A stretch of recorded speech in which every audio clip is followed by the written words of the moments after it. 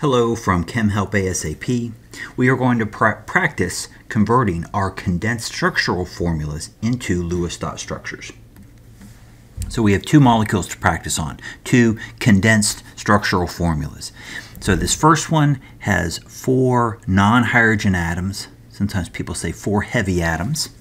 And we have to convert this to a Lewis structure. So again, the, these condensed structural formulas are written from left to right, so let's read them from the left to the right. So we start with carbon 1, that is a CH3. Carbon 1 is attached to a CH, that's, that will be carbon 2.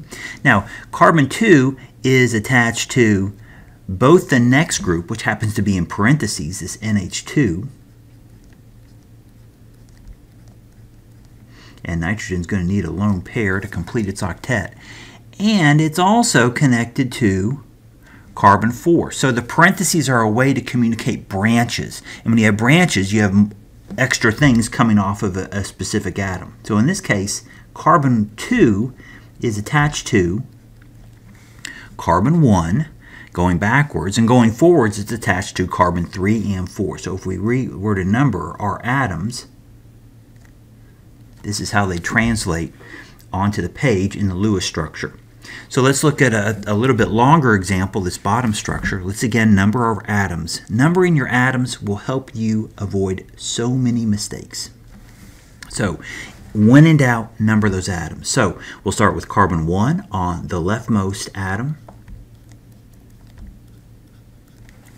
What is carbon 1 attached to? Well, it's attached to carbon 2 as we move from the left to the right.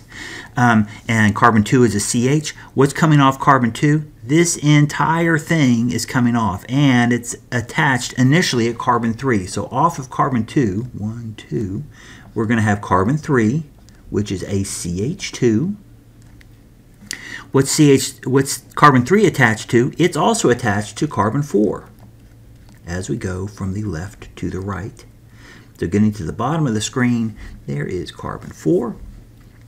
Now, carbon 2 is also attached to carbon 5. That's exactly what we saw in the top structure. Carbon 2 up top was attached to 3 and 4. Because of the parentheses tell us there's a branch, so carbon 2 continues the main chain onto carbon 5, and that is a CH2. And lastly, we get our chlorine. So let's label carbon 2. Chlorine is atom number 6.